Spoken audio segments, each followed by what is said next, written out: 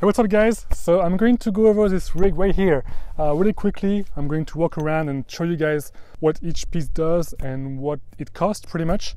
Um, so hopefully it will help you guys um, build a rig that's going to be both um, portable like this one here and um, you know affordable hopefully right so it's a pretty easy rig we don't use any laptop for this rig um, it's just a DSLR camera with a telescope and a mount pretty much and right now it's very cloudy as you can see here, so there's no point of imaging.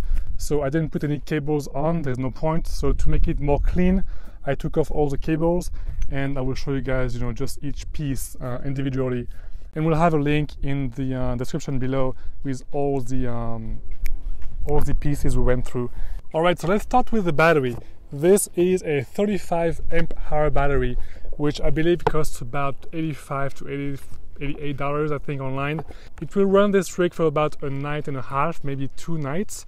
Um, the main thing is, for this example, um, this battery will only run the mount, so there is no power needed for this or for the uh, uh, the guide camera or anything. The only power needed is for the, the mount. So I would say two nights easily um, for a 35 amp hour battery. As for the mount, this is the Atlas EQ-G from Orion. It's almost the same as the um, EQ6R from, uh, I believe, Skywatcher. So this mount is affordable and it's so, so, so reliable.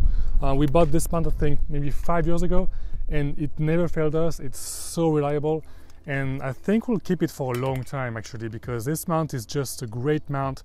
Um, overall and even though for us now we have a mighty mount we still use this mount for um, like secondary rigs. Then we have the telescope here of course. This is the Meade 70mm apo astrograph f5 and it's a Petzval telescope so it's a really really nice refractor that's super lightweight and super short. And um, it's Petzval means that you don't have to buy any kind of like uh, field flattener for this because it's already integrated inside it's built in. So um, it, all you have to do is just connect the camera straight to the telescope. You don't have to worry about any adapter and it's super nice. Then we have the, the camera. So this is a Canon 5D Mark II but we also use our Canon 7D Mark II but this is a great full frame DSLR camera that fits perfectly fine on this telescope here if you want to go cheaper, we suggest getting a T3i, for example. Those are like super cheap. I think it's like maybe 200 bucks now on eBay. Or you can go up to T7i, for example, which is newer and um, much better. I think maybe around 500 bucks, maybe 400 bucks on eBay. Um, the 5D Mark II here I bought for 400 bucks. Attached to the, the Canon camera, we have an intervalometer. So this is this would allow us to um, pick our number of shots pick our exposure time, uh, any kind of delay, and um, have full control of the uh, manual settings in terms of exposure time and you know uh, frames. Um, this is I think like 15 bucks on Amazon, so it's pretty cheap too.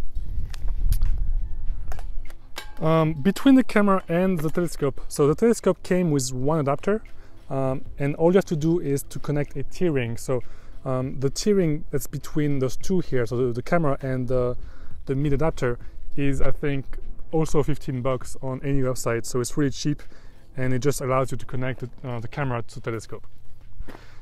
Then if we go on the front here we have a an adapter for the QHY Polemaster which I don't have today but um, if, if you were to buy a, a Polemaster you could just connect it right here uh, as long as you have the uh, the adapter. So if you if you have the money it's not too expensive um, this will definitely help you um, you know polar align easily. Um, on this side as well, we also have a, a Bahtinov masks that was um, printed uh, by my uh, my friend Devron.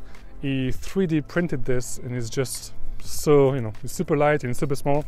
And all you have to do is just to stick it over here like that, and you know, with that you can easily focus the telescope um, and you know we have a video about how to focus but with this mask is just super easy. And lastly um, that's pretty much all we have. On this side here I'm going to rotate the telescope. On this side here so we have a guide telescope from Orion. Uh, it's a 50 millimeter guide telescope, and here we have a guide camera. So this guide camera is from QHY. We usually use either that one or the ASI 290 Mini, um, but both are pretty good for for guiding. So and they're pretty cheap as well. So this one in particular is I don't remember the name. I think it's QHY. Uh, there we go. QHY 53462. So I could not remember that. Sorry. This works nice for for guiding. And guys, that's pretty much it. I mean, it's a very very simple rig. We don't use any laptop if we plan to image with our DSLR camera. So we like to use this instead of the laptop. So it's overall very very easy.